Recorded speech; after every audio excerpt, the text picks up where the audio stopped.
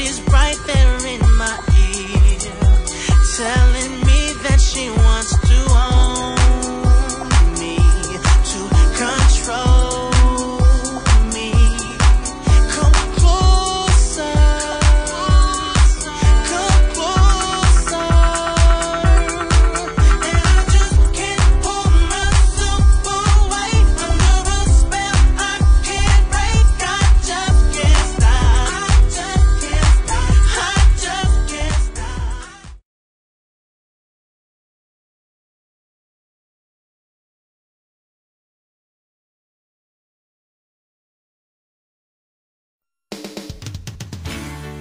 Introducing the only repair kit your toilet tank will ever need, the 400AK by Fluidmaster.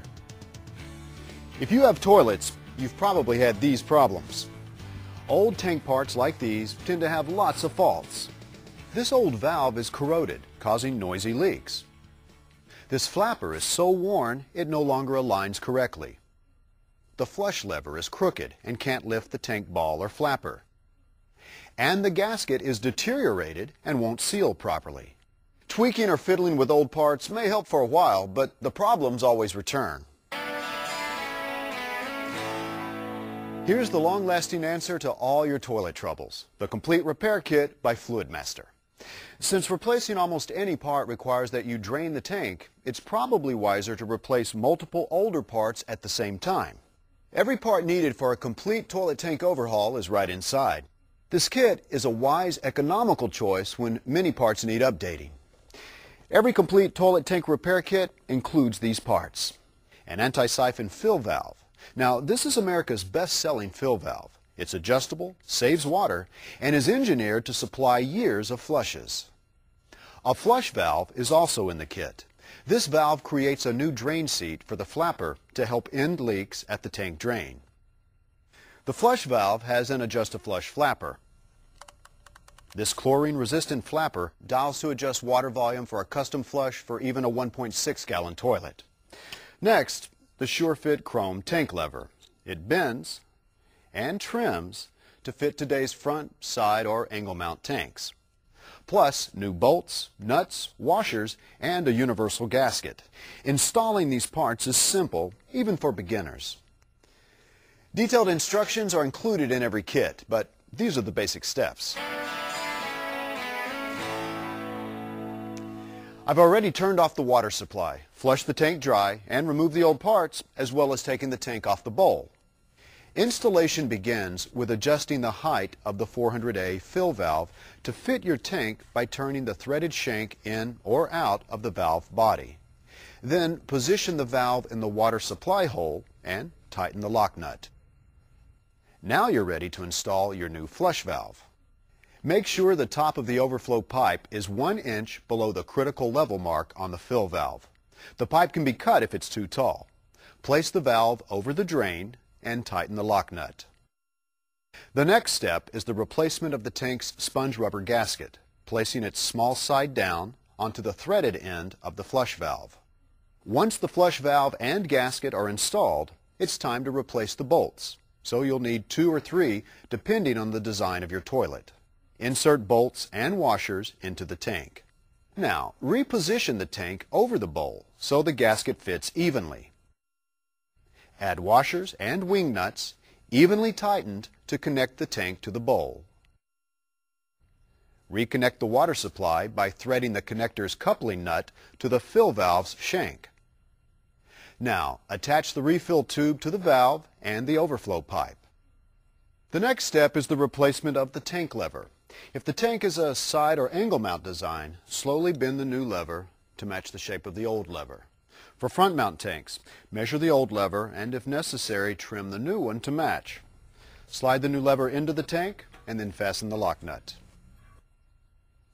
Connect the flapper chain to the slot that provides the best lift. There should be some slack when the flapper is in the closed position. Now you're ready to select the ideal flush volume on the Adjust to Flush flapper. Simply rotate the flapper. The higher the number, the greater the flush volume. You're almost done. Now, turn on the water supply, set the desired water level by squeezing the adjustment clip, and your tank is ready to operate.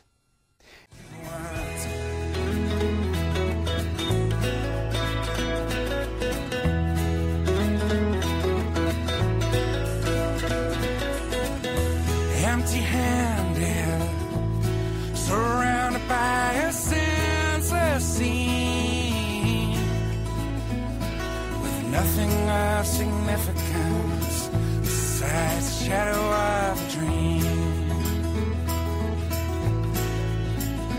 You sang.